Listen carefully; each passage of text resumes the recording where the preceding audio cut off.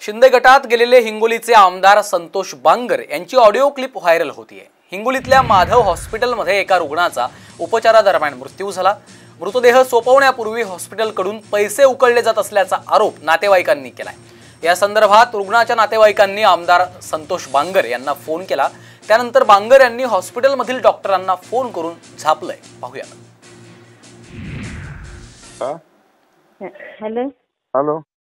हा ते इथं दवाखान्यामध्ये आमची आई वारली वारली हा हा तर ते दोन तीन दिवस पहिला म्हणजे पिवळ्या कोपमार घेतो म्हणजे तपासण्या करणार आणि मग आता अं, हे केलं दोन तीन दिवसानं खूप पिशे घालायला घातलं ना आता काल म्हणले दहा दिवस मग घेईन गेले कर्मा केल्यावर घेतलं तर मग आता माहिती पैसे द्या पाच हजार रुपये भरा कोण्या दवाखान्यात आहे अं, माधव हॉस्पिटल तब्येत कशी आहे आता हा तब्येत कशी आहे? तब्येत नाही हे झाली. हा मग काय पैसे द्यायचे नाही रुपया द्यायचा नाही. पेशंट घेऊन निघायचा आपला. हो तर ते म्हणे पाच हजार भरा ते पहिलं सांगत असतं ना आम्हाला. एक एक रुपया द्यायचा नाही.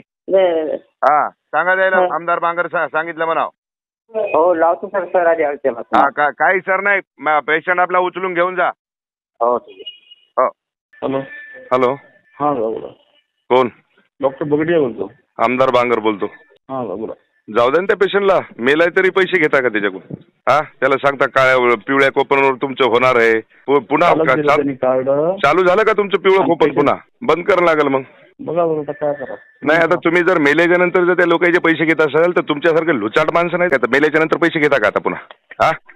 द्या ना त्याला सोडून. ठीक आहे. लाज वाटायला पाहिजेत. ठीक आहे दादा सांगतो त्यांना. द्या सोडून त्याला. Okay okay.